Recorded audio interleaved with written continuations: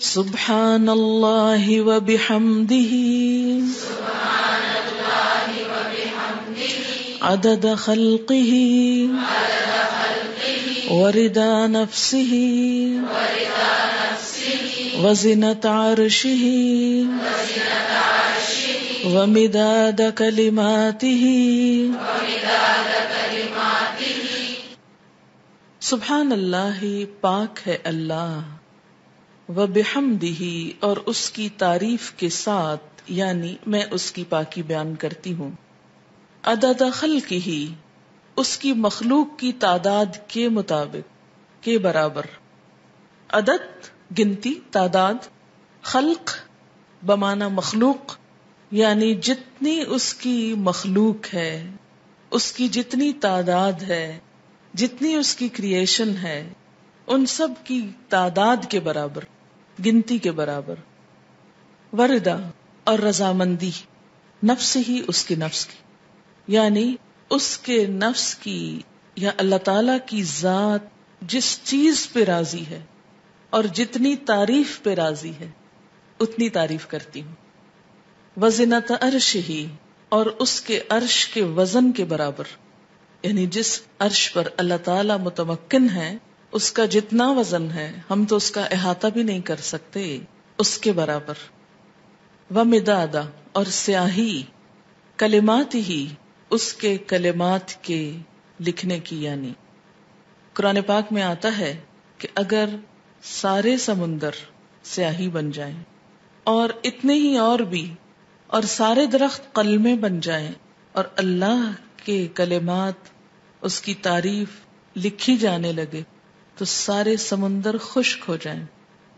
लेकिन अल्लाह की बातें कभी खत्म ना हो।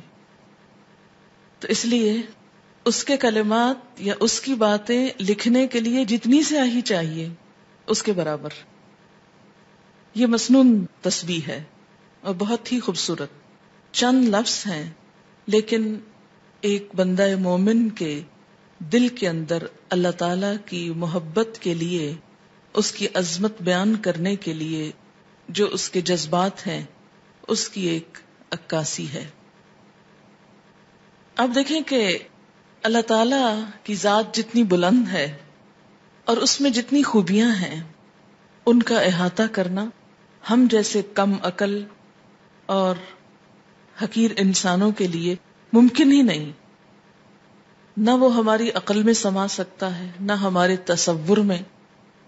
और न ही हमारी इतनी ज़िंदगी है, न हमारी इतनी कुव्वत है, न इतनी ताकत है, मजाल है कि हम वाकई उसकी तारीफ़ का हक अदा कर सकें। उसकी तस्बीह कायनात की हर चीज़ बयान कर रही है। वह इमिन शई इन इल्ला युसब बिहमदिही। कोई चीज़ ऐसी नहीं जो उसकी तस्बीह न कर रही हो। वला किल्ला तफकहू न तस्बीह लेकिन तुम उनकी तस्बीह को समझते नहीं हो। सब मा फिस समावाति वमा फिल अर्थ तस्बीह कर रही है अल्लाह की। हर वो चीज़ जो आसमानों में है हर वो जो ज़मीन में है। जब हर चीज़ उसकी तस्बीह में लगी हुई है तो मेरी जबान उसकी तस्बीह से खाली क्यों रहे? अगर मैं नहीं करूँगी तो मेरी महरूमी है। अल्लाह ताला का तो कुछ भी नुकसान नहीं। बेशुमार फरिश्ते सिर्फ़ पैदा ही इसलिए हुए हैं कि वो अल्लाह की तस्वीर बयान करें, उसकी तारीफ़ बयान करें। इसलिए तस्बीह करना सरासर खुद इंसान के अपने फ़ायदे के लिए है। इस तरह इंसान बाकी कायनात का हम नवा हो जाता है। जिस जात से जितनी मोहब्बत होती है उसके लिए अल्फाज का चुनाव उतना ही मुश्किल काम होता है। और अल्लाह की तारीफ़ के लिए अल्फाज का चुनाव हम आम इंसानों के बस में नहीं। इसलिए हमें लाजमी तौर पर सहारा लेना है नबी सल्लल्लाहु अलैहि वसल्लम के अल्फाज का। तो आपने जो अल्फाज सिखाए, मसनून भी हैं और बहुत जामे भी हैं। आप सल्लल्लाहु अलैहि वसल्लम की यह खसूसियत थी कि इन नमा ऊती तो जवाम कलम, मुझे जामे कलिमात अता किए गए हैं। आप सल्लल्लाहु अलैहि वसल्लम की गुफ्तगु की एक खूबी थी कि कम अल्फाज में बड़ी बात कह सकते थे। तो यहाँ बहुत कम अल्फाज में, बहुत खूबसूरत तरीके से अल्लाह ताला की तस्वीर बयान की गई है।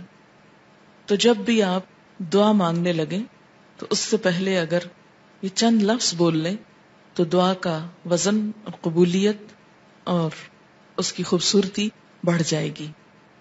अब देखें कि दुआ के शुरू में और आखिर में तस्वीर पढ़ना और दुरुश्री पढ़ना ये ऐसा ही है कि जैसे किसी को कुछ देने के लिए आप एक खूबसूरत जैसे गिफ्ट पेपर होता है या अच्छा कोई बर्तन हो सकता है या कोई भी चीज़ जिसमें आप कोई चीज़ डाल कर दे रहे हैं। मसलन आपने खूबसूरत खत लिखा और गंदे से एनविलप में डाल के दे दें तो वो तासुर कैसा होता है? दुरुस्त नहीं होता। इसी तरह आप अच्छी से अच्छी बात कहना चाहें, मगर अल्फाज अच्छे ना हो तो उसके अंदर खूबी नहीं आएगी अच्छी से अच्छी बात में। तो अल्फाज का अच्छा चुनाव और दुआओं के आगे पीछे अल्लाह की तस्वीर, ये बहुत ही ज़रूरी है और बहुत मुफीद है। और इससे बढ़कर जामे अल्फाज कम ही मिलेंगे आपको। इसलिए इनको याद भी कर लीजिए और आदत भी बना लीजिए। अब इस शऊर के साथ जो कुछ हमने इसका माना समझा है, मसलन अदा दखल की ही तो आप सोचिए जरा कि उसकी मखलूक की गिनती, मसलन कहा यह जाता है कि आसमानों पर जितने सितारे हैं, अगर उनको फर्जी नाम दे दिए जाएँ, मसलन ए बी सी डी तो उन नामों से पुकारने में या उनकी सिर्फ़ गिनती करने में 400 मिलियन साल चाहिए। क्योंकि इंसान नंबर एक तो इहाता ही नहीं कर सकता। और अगर सिर्फ़ गिनने लगे उनको, सिर्फ़ सितारों को, अभी ज़मीन के जर्रात को नहीं, रेत के जर्रात को नहीं, अगर आप में से हर एक को पूरा कराची शहर मसलन समुन्दर के किनारे पहुँच जाए और एक एक ग्लास रेत का उठाकर उसको दे दिया जाए, हर शख्स के कि इसके जर्रात गिनो। तो मेरा ख्याल है कि सिर्फ़ वो जर्रे गिनने में उसको कई साल लग जाए, एक उम्र बीत जाए। तो हम ना तो ये जर्रात गिन सकते हैं, ना ये सितारे गिन सकते हैं, और ना ही हमारी इतनी उम्र है। तो ये एक तस्वीर लेके अगर हम चंद दफ़ा सुबहान अल्लाह सुबहान अल्लाह कह भी देते हैं, इससे हक नहीं अदा होता। सारा दिन भी बैठ के तस्वीर पढ़े तो मत कभी सोचें कि हम बड़े इबादत गुजार हो गए और बहुत कुछ कर ली। कुछ नहीं किया। कभी अपनी इबादत का इंसान को गुरूर नहीं आना चाहिए। न कभी इबादत के तकबर में मुबतला हो। क्योंकि हम अल्लाह का हक अदा कर ही नहीं सकते। तो फिर जब इंसान ये कहता है, अददा खल के ही तो गोया वो सब कुछ गिना गया, जो आप वैसे नहीं गिन सकते। लेकिन शर्त यह कि दिल से कहें अददा खल के ही, वरिदा नफ्स ही। इतनी तस्वीर जिस पे वो राज़ी हो जाए, बस मुझे उसको राज़ी करना है।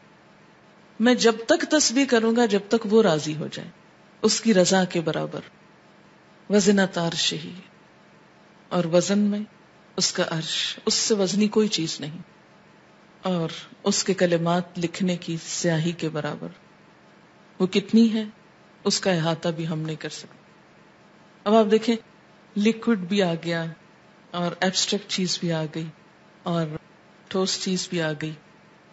यानी हर चीज़ का एक तरह से अहाता किया गया। अब इस तस्वुर के साथ तस्वीर पड़ी सुबह अल्लाह